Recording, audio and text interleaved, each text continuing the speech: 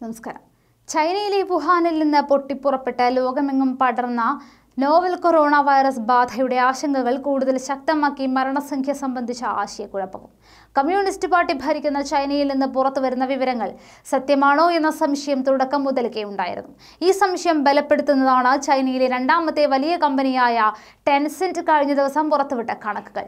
ഇതുവരെ ഒരു ലക്ഷത്തി അൻപത്തി നാലായിരത്തി ഇരുപത്തി മൂന്ന് പേർക്ക് വൈറസ് ബാധിച്ചുവെന്നും ഇരുപത്തിനാലായിരത്തി അഞ്ഞൂറ്റി എൺപത്തി ഒൻപത് പേർ മരിച്ചുവെന്നുമാണ് ശനിയാഴ്ച ടെൻസെന്റ് പുറത്തുവിട്ടത്. തെറ്റുപറ്റിയെന്ന വിശദീകരണത്തോടെ ഈ കണക്കുകൾ ഉടൻ തന്നെ പിൻവലിക്കുകയും ചെയ്തിരുന്നു. ചൈന യഥാർത്ഥത്തിൽ അവകാശപ്പെടുന്നതിലും എത്രയോ അധികമാണിത്. അഞ്ഞൂറ്റി അറുപത്തി മൂന്ന് പേർ മരിച്ചുവെന്നും ഇരുപത്തി എണ്ണായിരം പേർക്ക് വൈറസ് ബാധ സ്ഥിരീകരിച്ചുവെന്നുമാണ് ഇന്നലെ വരെയുള്ള ഔദ്യോഗിക കണക്ക്. ടെൻസെന്റ് പുറത്തുവിട്ട കണക്കുകളാണ് സത്യമെങ്കിൽ രോഗബാധ വിചാരിച്ചതിലും എത്രയോ ഭീകരമാണ് എന്ന ആശങ്കയിലാണ് ലോകം. ലോകാരോഗ്യ സംഘടനയ്ക്ക് പോലും പിടികൊടുക്കാതെ ചൈന രോഗത്തെക്കുറിച്ചുള്ള യാഥാർത്ഥ്യം മറച്ചുവെക്കുകയാണോ എന്ന സംശയത്തെ ബലപ്പെടുത്തുന്നതാണ് ഈ കണക്കുകൾ. ടെൻസെന്റിന്റെ വെബ് പേജിലുള്ള പകർച്ചവ്യാധി അപ്ഡേറ്റിലാണ് ഈ സംഖ്യകൾ പ്രത്യക്ഷപ്പെട്ടത്. ഔദ്യോഗിക കണക്ക് പ്രകാരം ശനിയാഴ്ച രോഗം ബാധിച്ചത് പതിനാലായിരത്തി നാനൂറ്റി നാൽപ്പത്തി ആറ് പേർക്കും മരിച്ചത് മുന്നൂറ്റി നാല് പേരുമായിരുന്നു. ഇതേ സ്ഥാനത്താണ് ഒരു ലക്ഷത്തി അൻപത്തി നാലായിരത്തി ഇരുപത്തി മൂന്ന് പേർക്ക് രോഗം ബാധിച്ചുവെന്നും ഇരുപത്തിനാലായിരത്തി അഞ്ഞൂറ്റി എൺപത്തി ഒൻപത് പേർ മരിച്ചുവെന്നുമുള്ള കണക്ക് പ്രത്യക്ഷപ്പെട്ടത്. എഴുപത്തി ഒൻപതിനായിരത്തി നൂറ്റി എട്ട് പേർക്ക് കൂടി രോഗം സംശയിക്കുന്നതായും ഇരുന്നൂറ്റി അറുപത്തി ഒൻപത് പേരെ ചികിത്സിച്ച് ഭേദമാക്കിയതായും കണക്കുകൾ ഉണ്ടായിരുന്നു.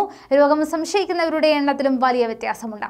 ശനിയാഴ്ച വരെയുള്ള കണക്ക് പ്രകാരം ചൈന യഥാർത്ഥത്തിൽ അവകാശപ്പെട്ടിരുന്നത് മുന്നൂറ്റി അൻപത്തി ഒൻപത് പേരെ ഭേദമാക്കിയെന്നാണ്. അവിടെയുള്ളത് ഇരുന്നൂറ്റി അറുപത്തി ഒൻപത് പേർ മാത്രമാണ്.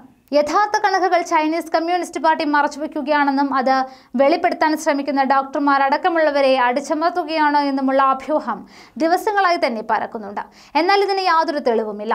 ടെൻസെന്റിൽ വന്ന ഈ കണക്കുകൾ ആ സംശയം ബലപ്പെടുത്തുന്നുണ്ട് എന്ന് മാത്രം.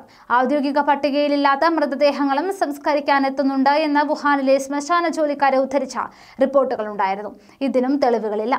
വുഹാനിലെ ആശുപത്രിയുടെ ഇടനാഴികളിൽ മൃതദേഹങ്ങൾ വീണുകിടക്കുന്ന വീഡിയോയും പ്രചരിച്ചിരുന്നു. അതിനിടെ കൊറോണ വൈറസ് ബാധ സ്ഥിരീകരിച്ച ശേഷം രണ്ടാമത്തെ ഡോക്ടറുടെ മരണം കൂടി കഴിഞ്ഞ ദിവസം റിപ്പോർട്ട് ചെയ്യപ്പെട്ടു. തുടർച്ചയായി പത്ത് ദിവസം രോഗികളെ ശുശ്രൂഷിച്ച ഇരുപത്തിയേഴുകാരനായ സോങ് യിങ്ജി എന്ന ഡോക്ടറാണ് മരിച്ചത്. ഹൃദയാഘാതമാണ് മരണകാരണമെന്ന് അധികൃതർ പറയുന്നുണ്ട്. എങ്കിലും കൊറോണ വൈറസ് ബാധിച്ചതാണ് സോങ് മരിച്ചത് എന്ന അഭ്യൂഹവും പരക്കുന്നുണ്ട്. രണ്ടായിരത്തി മൂന്നിലെ സാർസ് ബാധ ചികിത്സിച്ച പരിചയ സമ്പത്ത് വെച്ച് കൊറോണയെ നേരിടാനെത്തിയ വിരമിച്ച ഡോക്ടറും നേരത്തെ മരണത്തിന് കീഴടങ്ങിയിരുന്നു.